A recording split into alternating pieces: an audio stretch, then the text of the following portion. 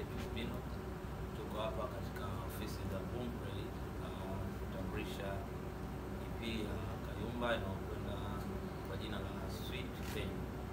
Uh, karibuni kwa maswali, tujumuike pamoja. Lazima tuangalie bwana, vipi tunafanya, lazima tuangalie bwana, kuna maslahi tunafanya, mm, kwa sababu muziki ni biashara, alafu pia yeye mwenyewe ataangalia kwa upande bwana, nikichukua sharara naweza aka mshahara wake uko vipi? Kwa hiyo inategemeana, sasa ni swala la kikazi kwamba yeye tukikaa, kwa sababu ndio bosi, yeye ndio kila kitu, kwa hiyo aongee kila kitu, bwana, shahara tunataka tufanye hivi, tufanye na mimi niseme yes, lakini nadhani ni wakati sahihi wa kuendelea kufanya vitu vizuri na kuendelea kusaidiana kama vijana, imani kupeleka muziki wa Tanzania kufika mbali zaidi